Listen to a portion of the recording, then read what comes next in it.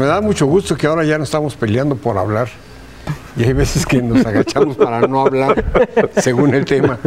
Roberto, tú... Ingeniero, yo creo que centralmente, si dice Pepe, no se trata de cambiar la ecuación de la representatividad, pero yo voy un poco más en el sentido de que los ciudadanos tenemos que ser un poco más exigentes, que cambie un poco más la actitud del ciudadano, porque al final de cuentas ha sido una actitud pasiva Eso y no es exigente. Eh, si encontramos un nuevo modelo en donde los ciudadanos estén de, mejor forma informados, hoy creo que existen las nuevas formas para estar informados, si no es por las redes sociales, es a través de los medios de comunicación, porque centralmente ha abarcado mucho campo y el tema de la información. Y tratar de ser objetivos, tratar de construir una opinión, tratar de construir un propio concepto de lo que está pasando y a partir de ahí volverse un poco más exigentes en lo que está pasando en la dinámica social, en la dinámica política de nuestro país, este, creo que va a ser fundamental para que podamos aspirar a un nuevo modelo de representatividad, porque si no, seguimos pasmados. Dice muy bien Gerardo que no se trata, hoy la- los representantes o los diputados federales y los senadores, pues no son representantes de los ciudadanos, no son representantes de la sociedad, son representantes de sus propios partidos políticos, porque están buscando tratar de ir eh, construyendo una reforma o una miscelánea fiscal, eh, como lo hemos, eh, como lo hemos venido analizando, con unos matices que vienen a perjudicar a la ciudadanía. Cuando aquel diputado por el que uno vota, por el que yo voté, este, pues debe de estar defendiendo los intereses de los propios ciudadanos, no de sus propios partidos políticos. Pero bueno, creo que debe de cambiar un poco el, tema, la actitud del ciudadano frente a estos temas. ¿Qué debemos de hacer como ciudadanos? Primero, pues sabernos informar, saber construirnos una propia opinión, porque hay muchos ciudadanos que somos los que nada más leemos, si estoy de acuerdo con lo que dice aquí, no se trata de estar de acuerdo o no, se trata de construir una propia apreciación del tema de lo que está uno pasando para tratar de analizarlo y tomar una decisión de qué es lo que podemos hacer. Creo que a partir de ahí podemos cambiar un poco la dinámica de lo que está sucediendo en nuestro país, hacer una sociedad más exigente, que reclame más de mejor forma sus derechos, porque al final de cuentas, hoy lo que afecta a unos cuantos posiblemente, este, va a afectar al- a- en términos generales a la mayoría en un, en un momento este, inmediato de esta ¿Y situación. por qué esperar, Pepe, a que venga el próximo proceso electoral para que la gente le pregunte a su candidato qué hizo? Vamos a preguntarles ya a nuestros diputados. Tienen casas de atención. Tienes toda la razón. ¿Algún? ¿Ya? todo, ¿no? Tienes toda la razón. Yo, yo- yo invito a toda la ciudadanía que quiera participar en esto, pues que le pregunte a su diputado, oye, en este proceso, Si lo encuentra, si lo encuentra. pues que lo busque. O sea, no nada más debe quedar en que no lo encontré. Casi Lo debe vale. buscar. Eso es- además, están los portales de las cámaras en donde puede uno consultar las intervenciones diarias, las, las, eh, las, este, las eh, asistencias o inasistencias de los diputados. O sea, hay muchísimos Lo que se argumentos. debate en el diario de los debates viene Sí, todo. porque Ahora, además ahí todo. nos van a decir, fíjate que entregamos este, láminas y despensas. Sí, sí, sí, está bien. Pero ¿cómo votaste la reforma fiscal? Claro. Porque al final del día ¿Y es lo que votaste? interesa como me representado. en el- ¿En qué me está Ahora- beneficiando a mí lo que tú votaste? No, No lo ¿En qué me alejemos a la parte federal. Preguntémosle a nuestros diputados locales Ya viene el presupuesto. la opinión de cómo vieron esto, porque a lo mejor ni se enteraron que hubo debate. Ya viene el presupuesto del Estado y el presupuesto municipal que hay que aprobar. Ahí está, ¿eh? ¿Y sabes qué otra Porque es cosa otro flanco, ¿eh? Es otro flanco. Pero con el objeto de que la gente participe, no, la, no para que critiquen nada más, sino para que participen y le pregunten a los que están en la Cámara. E- Ese punto que toca don Luis es verdaderamente importante, porque tenemos una corriente de, de- de- de opinión que odia a los, a los legisladores y que incluso con el señor este Pedro Ferriz, o sea, que plantea que desaparezcan la- Sí, una de las un tipo nefasto definitivamente, se van por la cuestión del odio simplemente. Vamos a quitarlos, no sirven para nada, no. Hay que partir de la base de que es una, una herramienta necesaria en cualquier democracia. Vamos a participar, vamos a ser exigentes y demás, pero no caigamos en, el- la- en la otra parte para poder ser propositivos, para poder caminar. Yo no me esperaría a decirle al diputado, oiga, ¿cómo, cómo votó? Yo, me, yo me, me- me iría a una condición donde se le pregunte al candidato, oiga, y si va usted a ser diputado, ¿cómo va usted a votar esto? ¿Va usted a decir que en efecto los líderes de los sindicatos af- afectos a su partido no deben de rendirle cuentas a nadie? ¿Así lo va usted a votar? ¿Así vamos a seguirlo permitiendo o no? ¿Va usted a votar por cerrar la transparencia como, como se intentó hacer en un principio? Vaya, para que pudiéramos desde el efecto preventivo eh, avanzar en ese tema. Pero ¿no? no nada más a los diputados, hay que preguntarle a los partidos políticos. También. A los presidentes municipales. Pero a los presidentes municipales. Es muy importante el tema, pero y no es poca cosa, porque si bien es cierto que la reforma fiscal viene un golpe importante, mucho se le queda de ese golpe, lo vamos a resentir más a primera mano en los, en los ayuntamientos y en el Estado. El Estado ya informó que no va a haber más impuestos. Pero los Esa municipios, es una buena noticia. pero los municipios están, en aras de que no tienen los recursos que, que tenían anteriormente, proponían una serie de recursos. Mira, se, asesor- se asesoran de despachos que son a Guadalajara, a Puebla. Y entonces quieren aplicar, ya está aplicando otro un impuesto así, pero quieren aplicar impuestos que son exitosos en Guadalajara, Monterrey, Puebla. Pero una sociedad como esta, con la pobreza en la que estamos, pues no es, no es congruente, ¿no? Entonces vienen en las iniciativas de presupuestos de egresos, la ley de ingresos, viene una serie de, de- de- de incrementos, de reevaluaciones, por ejemplo, en materia catastral, con las fotos aéreas, pues fuera al margen de la ley, van a decir, tu casa vale un peso, pues a partir de ahora va a valer 100, vas a pagar 10 mil. ¿Por qué? Ah, porque saqué una foto aérea. A ver, aquí está lo que yo tengo y en base a esto me sustentas, tú vas a ingresar.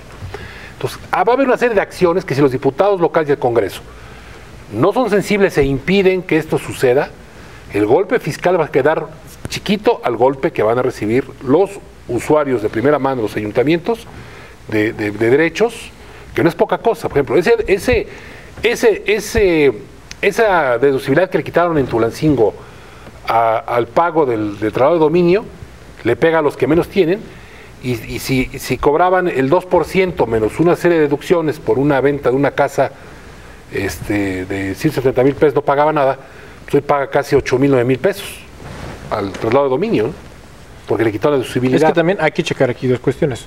Una es el tema de la actualización catastral, que es el tema de la fotografía aérea Está y bien, que te hace pero- reportar los metros cuadrados construidos y que no los has reportado. Pero hay otro tema, la actualización de los valores catastrales que se dan en los municipios, en las leyes de ingresos municipales, en los presupuestos de ingresos, en donde hay que revisar que el ayuntamiento no genere un movimiento en esos valores, porque eso lo que va a generar son incrementos al tema del valor catastral de la propiedad. Y en el tema de los traslados del dominio, que realmente son temas, son de los dos conceptos eh, del erario municipal, de los cuales se fondea de mejor forma el municipio, hay que cuidar que estos dos conceptos no se alteren. Pero también otro tema importante, los trámites y servicios que ofrece el municipio.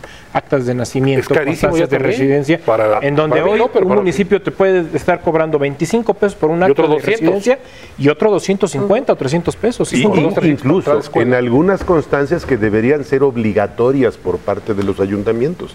Tú dime si esta, si, si, si esto, si es mi predio invade zonas, este, de áreas verdes o, o cuestiones así, lo cobran en ese sentido. Todo. Pero además, lo más grave del asunto es que al tiempo que al ciudadano le exigen eso, seguimos viendo por todo el territorio del Estado y de la Nación los informes faraónicos, las publicaciones, vaya, dignas. Los gallardetes en las calles. gallardetes y, este, ¿cómo se llama? Publicaciones dignas de obras de arte de los muchos artistas mexicanos que valdría la pena que se publicaran y que son simplemente para tirarse a la basura. CDs, DVDs y demás. Es que crean pues una- los municipios han tenido, a ver, tan solo eso, o sea, la ciudadanía ha sido tan apática de entrarle a analizar esos temas, Claro. en donde, por ejemplo, hoy, en determinadas ciudades, están cobrando, si hoy en tu propiedad tienes un localito, y ese local tú le tienes que dar, para que puedas conseguir el permiso, la licencia de funcionamiento, tienes que contratar el uso de suelo, el Impacto dictamen ambiental, de protección impacto civil, el impacto ambiental,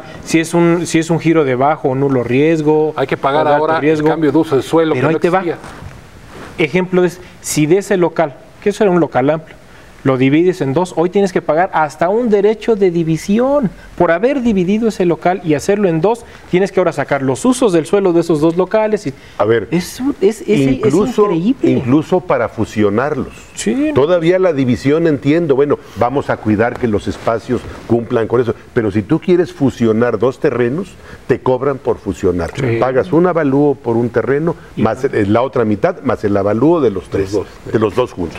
No. Ahora, y deja de eso, los traslados de dominio. Y la opacidad en la que están los ayuntamientos, que solamente saben lo que ingresan y a qué lo destinan. Yo pensé que eso era de los notarios. la culpa. No, que- No, no, no, sí, Tenemos, tenemos culpas tenemos, también. tenemos También tenemos representantes culpas. del Colegio Notariado. También tenemos culpas. No, no se trata de nada de eso. Pero esa no la debemos. Esa Ese, no. por eso, por eso ya licenciado, tienen que ¿eh? actualizar el arancel del notariado en el A Estado. ver, Yo quisiera regresar a un tema más general, pero que tiene que ver con lo que están platicando, que es, estamos haciéndonos expertos en arreglar problemas que no existían. Y cobrar buenos impuestos. Es decir, hoy yo veo, por ejemplo, que la Cámara de Diputados, a cambio de la mala reforma sendaria que se aprobó, dice, sí, pero aprobamos un control al gasto corriente y al déficit del gobierno. ¿Por qué? Para regresar lo antes posible al equilibrio y no permitir que el déficit se incremente. Y el sentido común obliga a preguntar, ¿y no era mejor no incrementar el déficit para no luego tener que ponerle un candado? ¿O por qué te fuiste a un déficit cero, es decir, deuda pública cero en el primer año del gobierno, para luego tener que irte al triple en el segundo? ¿Que no era mejor una política, digamos, más equilibrada? En la que no tuvieras luego que ponerte candados para evitar la deuda, ¿no está ahí el, el claro ejemplo de las entidades federativas? Entonces, es el mejor ejemplo de cómo, además de arreglar cosas que no estaban descompuestas, cuando las arreglan, entre comillas, nos piden que aplaudamos. Oye, qué maravilla, ya va a haber un techo al, al déficit. Bueno, eso ya existía, el problema es que se pidió la ampliación. Entonces, me parece que también eh, eh, Como lo que hay que hacer un llamado. Al sentido común en, en varias de las políticas estratégicas, porque nos estamos contraponiendo. Tú no le puedes pedir al secretario de Economía, a Guajardo, que vaya a vender a México y que vaya a promocionar las inversiones de un país que se aspira exportador y para la logística. Y mira, tenemos el acceso con todos estos puertos y puedes llegar directamente al mercado de Norteamérica.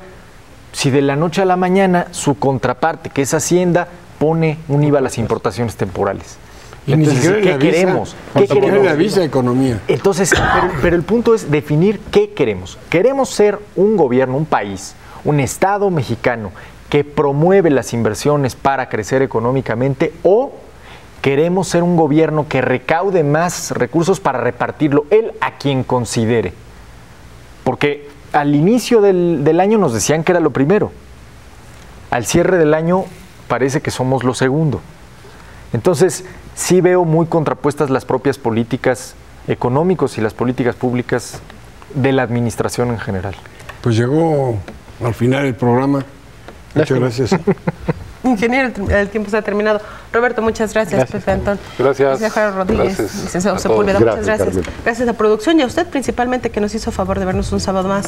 Muchísimas gracias. Lo esperamos el próximo sábado en punto de las 8 de la noche. Y recuerden nuestra repetición los días jueves a las, 8 a las 10 y 30 de la noche. Que tenga excelente fin de semana.